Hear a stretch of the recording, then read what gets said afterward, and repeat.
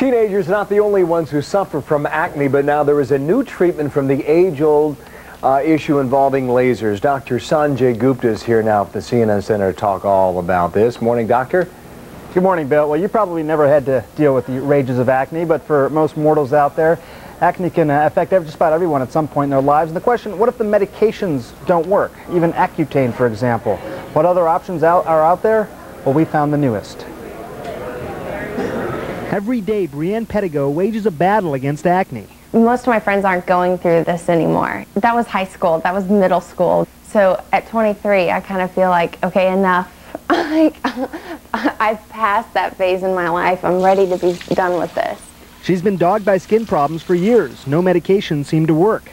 The frustration often cropping up on her face. It's so difficult when, when there's something causing you to not feel so great. Now she's New acne treatments, less than a year old. It's laser photodynamic therapy, or laser PDT.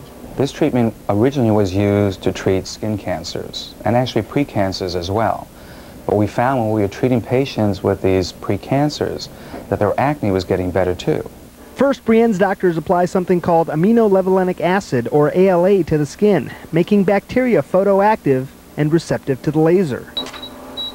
Then 10 minutes of quick laser bursts later, Dr. Bruce Katz says the bacteria are destroyed.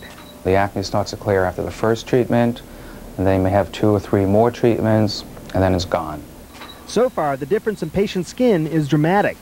Sue Dellinger's blotchy skin betrayed a lifelong problem with acne and rosacea. There wasn't a day that I wasn't dealing with some really bad issues.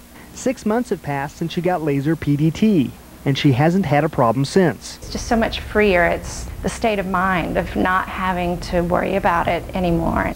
Only a handful of doctors in the country perform laser PDT, but Dr. Katz says promising early results coupled with minimal side effects may attract a range of acne sufferers to this new treatment option.